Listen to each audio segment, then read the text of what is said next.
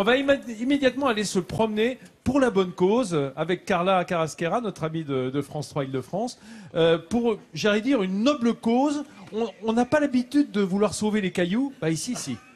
Oui, vous savez, en fait, la, forêt de Fontainebleau est victime de son succès. hein. Il y a 17 millions de visiteurs qui passent ici tous les ans, des randonneurs, mais aussi euh, des grimpeurs, parce que c'est un spot hein, pour l'escalade. Il y a des gens du monde entier qui viennent grimper ces rochers. Euh, le problème, c'est que la forêt souffre actuellement d'érosion. Euh, les équipes de l'ONF travaillent pour y remédier. Vous allez tout comprendre dans ce reportage réalisé par l'équipe de France 3 Île-de-France. C'est l'un des meilleurs spots de France. D'ailleurs, on vient des quatre coins de l'Europe pour se mesurer au bloc. Anglais, allemand, suisse, espagnol. Tous considèrent Fontainebleau comme un paradis de l'escalade. Pourquoi ce sont les meilleurs blocs? Eh bien, c'est parce qu'il y en a tellement. Et en plus, la roche est très solide.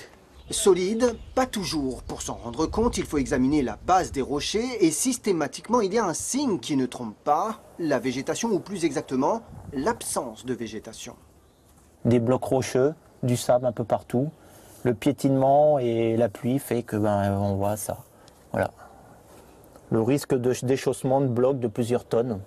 Chaque plante piétinée, et c'est de l'érosion en plus. Au beau milieu de la forêt, c'est donc avec des pierres et du sable que l'on tente de stopper le phénomène. On les met comme ils sont, comme ils sont quoi. Euh, on les cale bien les uns contre les autres pour que ce soit bien bloqué. On bourre de sable, d'aiguilles. Et après, ça sera comblé derrière, euh, ce qui retiendra tout, tout le, ce qui freinera l'érosion quoi.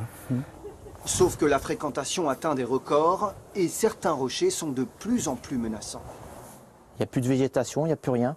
Donc le chantier de lutte contre l'érosion sur ce secteur euh, va être de essayer de canaliser euh, cette descente de sable pour pouvoir euh, faire un genre de, de petit barrage pour que le sable eh ben, euh, soit stoppé au niveau des écoulements et puis qu'au fur et à mesure des années, ça, se- ça se remonte. L'ampleur de la tâche est d'autant plus considérable que les moyens utilisés sont réduits. Ainsi, plusieurs années seront nécessaires pour vaincre l'érosion. Parce que Carla, ce qu'on comprend en voyant ça, c'est que ces gros rochers sont en fait du sable aggloméré, c'est une sorte de grès, donc euh, ça s'érode très facilement. Là, ça s'écoule, et c'est ça le problème. Et il y a un autre phénomène hein, dont je vous parlais qui menace aussi la forêt et qui inquiète beaucoup l'ONF, ce sont les décharges sauvages. Il y a des gens Ah oui. hein, oui, qui viennent déposer leurs poubelles. En fait, la, la forêt de, de En forêt de Fontainebleau, Fontainebleau et si, énormément, ça devient une poubelle à ciel ouvert. Et l'ONF n'a pas les moyens euh, d'enlever tous ces déchets. C'est un véritable problème. C'est évidemment un comportement qu'on condamne. On, met, on leur met évidemment un, un carton rouge là.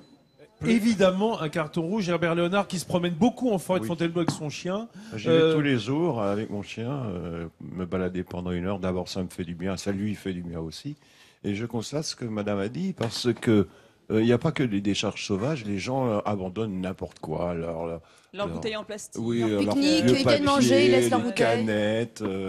Les mouchoirs, enfin tout, c'est épouvantable. Quoi. Et pourtant, ils, ils pourraient faire attention et garder ça dans leur poche, au moins jusqu'à ce qu'ils arrivent chez, dans leur voiture et le mettre dans une poubelle quelque part. quoi. Mais je crois qu'on peut inciter le scolaire, euh, enfin en tout cas tous les, les enfants des écoles lorsqu'ils sont en promenade en, en forêt, bien entendu, et dans tous les lieux. Mais, les enfants sont assez nettoyer. sensibilisés à Ah ça. oui, le oui. problème, Plus- c'est Ouais, pas eux. que les parents. Ouais, que les ce sont parents. souvent eux qui, euh, qui, qui en parlent à leurs parents. Tu veux dire que les, les- les parents dégueulasses et les enfants passent derrière pour nettoyer Exactement, c'est un peu ça. plus Non, mais c'est plus. vrai, il y a plutôt, on peut avoir confiance dans les futures générations. Elles Ouais, sont ouais. éduquées à ça. Le problème vient de- des personnes plus âgées, quoi. C'est Et ce qu'il faut, ce qu'il faut, c'est quand même que ça perdure parce que ce- ce- tous ces rochers de sable justement agglomérés, parce que c'était des carrières de sable ici aussi qui ont servi depuis la nuit des temps, tout ça a 35 millions d'années. C'est quand même dommage qu'en deux générations humaines, ce soit euh, un peu saccagé. Ça, il reste, hein, mon cher Jean-Seb. Oui, C'est oui. tout le, tout le débat sur notre planète et nous y sommes extrêmement sensibles à Midi en France, comme vous tous qui nous regardez, bien entendu.